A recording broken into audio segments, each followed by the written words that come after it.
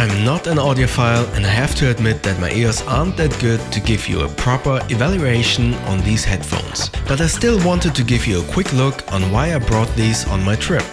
Hi, my name is Bo Ismono and I'm a film editor based in Hamburg, Germany. And this is a quick look at the advanced M4 in-ear headphones.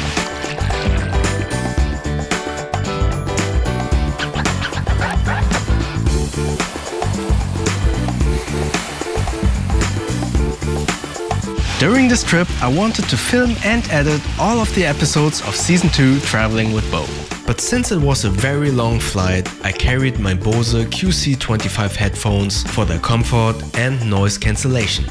However, these are not suited for editing due to their sound profile. For editing you want a sound profile which is as flat as possible, which is why I like my Sennheiser HD25.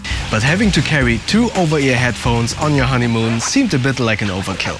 That is why I took the advanced M4 in-ear headphones. Not only are they small and come in this compact carrying case, but also do they have almost a flat sound profile. My friend is an audio engineer and mixes a lot of TV, commercials and music, also bought these and had this to say.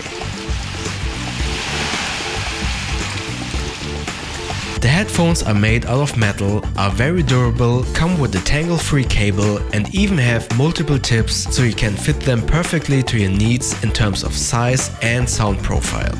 With all that said, you might think of a high price tag, but with a price under 50 euros, I can highly recommend them.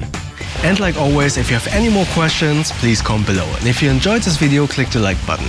And please feel free to subscribe to my channel so you won't miss the next episodes. Thanks.